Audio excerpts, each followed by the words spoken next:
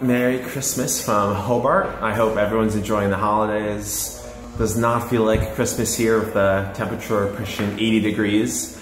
Um, this is my final destination. Um, finally arrived in Hobart. Uh, what a trip. Um, incredible experience. I have so many stories to share. Um, just like so many highs and lows. Um, and I was thinking there's so many parallels between kind of starting your dream, you know, on your dreams and a bike tour. So I can't wait to write about them and share that with you.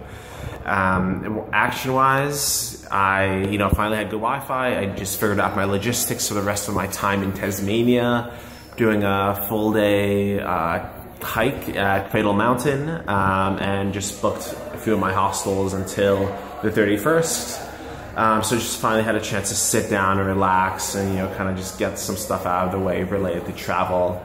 Um, did anyone uh, get uh, any action done today uh, after the Christmas? Let me know in the comments. Cheers.